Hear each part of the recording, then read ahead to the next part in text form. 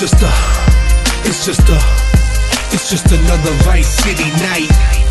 It's just a, it's just a. It's just another Vice City night. Waking up, baking up, taking my position. Sitting in the bullpen, inning after inning. What the future holds, I don't know. Let's begin it. The world's fuck crackheads screaming that they winning.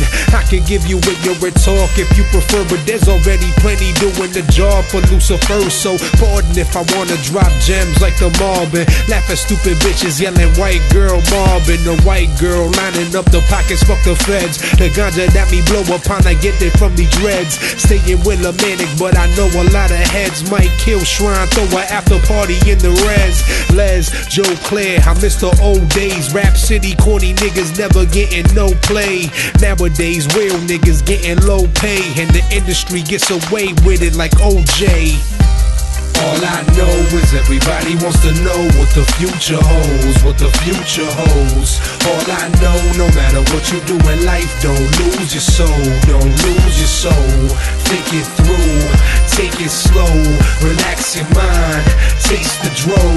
Think it through, take it slow, relax your mind, taste the dro.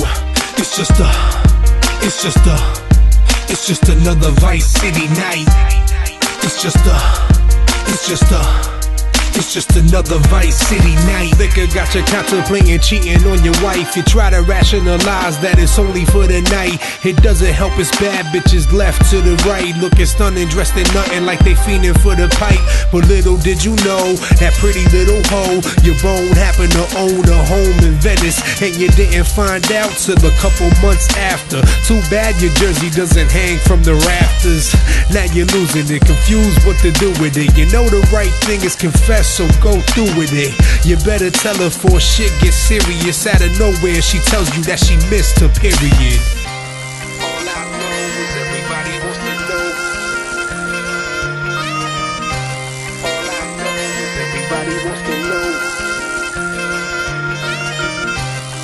It through, take it slow, relax your mind, taste the dro.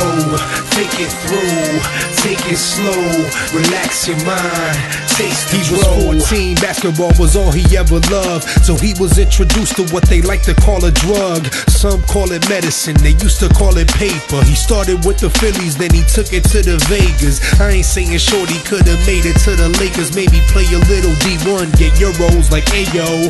For bad coaches and a sport full of politics, had him scheming of another way to get a lot of chips. Biggie, Pac, Guru, and Nas, his favorite rappers, started writing rhymes right before they started Napster. CDs to MP3s, what a disaster. So I don't really blame him for rolling them Dutch masters.